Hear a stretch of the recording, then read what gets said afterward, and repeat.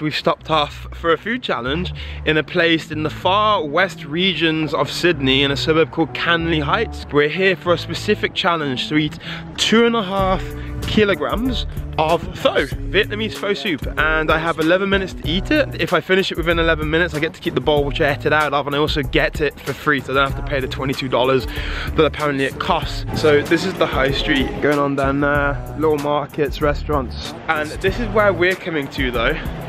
I don't have a clue how to pronounce that, but that's where we're coming for the challenge. It is a nice little restaurant, Asian sort of style, very good smells. In a way, the food challenge could actually be a secret food challenge. It's not actually on the menu from what I can see. So you find out about it online. Apparently a lot of people fail at this, so we'll see. I don't plan on being one of those. This is the food right here, and just to show you a comparison, that's Chloe's, that's mine.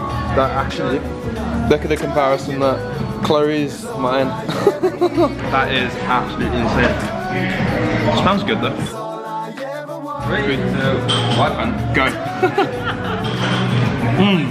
That's hot. That's very hot. But there you go. Little thing they do is too hot to actually eat is steaming hot to the point you can't actually swallow. Mm. The actual food amount in there isn't crazy, it's more water, but they, they put that much water in there because it keeps it steaming hot, so we'll see whether I can actually do it in time.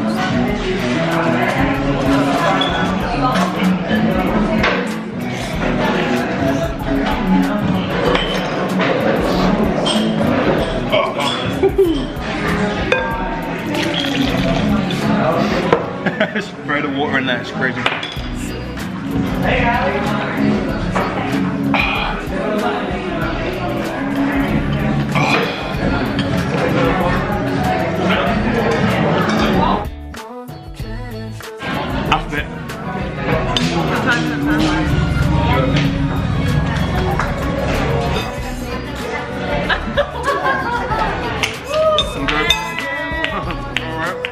Good? Good? Yes. You did it!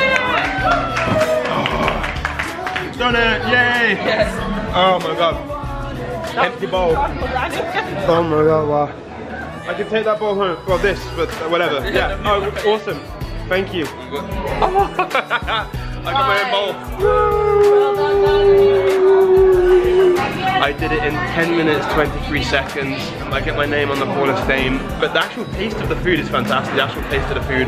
That is an utter speed challenge. And that was scalding hot at the beginning. So little tip, get water like this. When you get water like this, tip it in, yes, it makes more fluid for you to drink, but it cools it hell down. Because they make you eat it hot, my tongue is a bit scalded. It will heal, but it does hurt a little bit, I'm not gonna lie. This is my empty bowl though. And when I mean earlier, you don't have to leave things on the side, little things like this, as long as you eat the majority of it, I don't mind if you leave that. I feel stuffed. My stomach is like expanded as much as it can. I'm not solid, I haven't eaten all day. Now I don't need to eat and I got a free meal, so it was very good.